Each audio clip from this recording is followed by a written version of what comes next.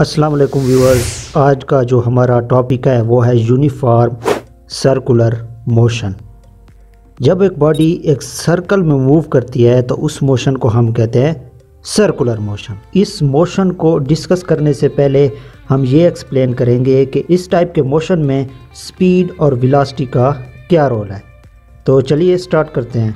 तो फ़र्ज़ करें, हमारे पास एक ट्रैक है स्क्वायर टाइप का. जिसकी फोर साइड्स होती है। तो यहाँ एक एथलीट वो दौड़ता है तो इस स्क्वायर टाइप ट्रैक में वो चार बार अपनी डायरेक्शन क्या करेगा? चेंज करेगा।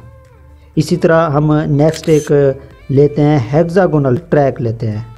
तो यहाँ पे जो एथलीट है, वो छः बार अपनी डायरेक्शन को चेंज करेगा।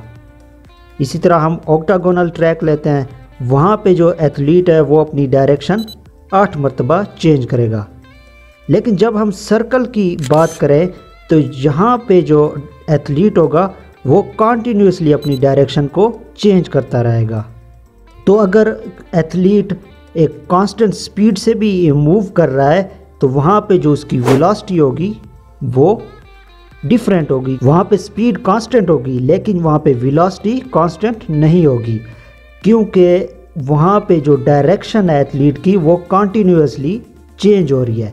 तो चेंज इन डायरेक्शन तो वहाँ पे वेलोसिटी लाजमी होती है। और जहाँ पे वेलोसिटी होगी, वहाँ पे एक्सेलरेशन भी लाजमी होगी। तो इसका मतलब ये है कि जितने भी सर्कुलर मोशन हैं, वो एक्सेलरेटेड मोशन होते हैं। वहाँ पे वेलोसिटी होती है। स्पीड चाहे जितनी भी कांस्टेंट हो, लेकिन वहाँ पे वेलोसिटी क्या होगी? हमेशा चेंज होती रहेगी, क्योंकि डायरेक्शन चेंज हो रही है। तो जब एक बॉडी एक सर्कुलर पाथ में मूव करेगी विद कांस्टेंट स्पीड के साथ तो उस मोशन को हम कहेंगे यूनिफॉर्म सर्कुलर मोशन इस पॉइंट को थोड़ा और क्लियर करने के लिए हम एक एक और एग्जांपल लेते हैं। फ़र्ज़ करें, एक पत्थर है, उसे हम किसी धागे से बाँध लेते हैं और उसे सर्कुलर मोशन में विद कांस्टेंट स्पीड के साथ घुमाते हैं।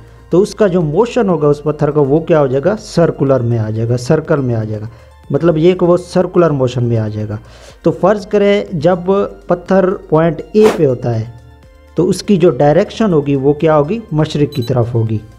लेकिन जब वो पॉइंट बी पे आता है, वो पत्थर, तब उसकी जो डायरेक्शन होगी, वो जनूब की तरफ़ होगी। तो इसका मतलब ये है कि जो पत्थर की डायरेक्शन है, वो क्या हो रही है? चेंज हो रही है कॉन्टीन्यूसली पॉइंट ए पे कुछ और थी और पॉइंट बी पे कुछ और थी, जबकि उसकी स्पीड सेम है। विद कॉन्स्टेंट स्पीड से हमने उस पत्थर को मूव कराया। लेकिन यहाँ पे जो विलासिटी होगी, वो सेम नहीं होगी। विलासिटी चेंज हो रही होगी। क्यों? क्योंकि यहाँ पे डायरेक्शन चेंज हो रही है। तो डायरेक्शन के चेंज होने से विलासिटी चेंज होगी। तो जहाँ पे विलासिटी होगी, वहाँ पे क्या होगी? एक्सेलरेशन होगी। क्योंकि एक्सेलरेशन की डेफिनेशन क्या है? The rate of change of velocity तो इसका मतलब ये है कि सर्कुलर मोशन जो होता है, वो हमेशा एक्सेलरेटेड मोशन होता है। यहाँ पे एक नोट करने वाली बात ये भी है कि जितने भी सर्कुलर मोशंस होते हैं, इन्हें सर्कल में मूव करने के लिए एक फोर्स दरकार होती है। और उस फोर्स को हम कहते हैं सेंट्रीपिटल फोर्स और ये डिफरेंट केसेस में डिफरेंट मीनिंग से अप्लाई होती है। मिसाल के तौर पर, सूरज के गिर्द जब प्लैनेट्स मूव करते हैं तो वहाँ पे जो सेंट्रीपिटल फोर्स होती है, वो होती है ग्रेविटेशनल पुल ऑफ़ सन इसी तरह जब सैटेलाइट्स ज़मीन के गिर्द मूव करते हैं तो वहाँ पे जो सेंट्रीपिटल फोर्स होती है, वो होती है ग्रेविटी ऑफ़ अर्थ मतलब ये कि अर्थ की जो ग्रेविटी है, वो सैटेलाइट को एक बैलेंस में रखती है सर्कुलर मोशन में.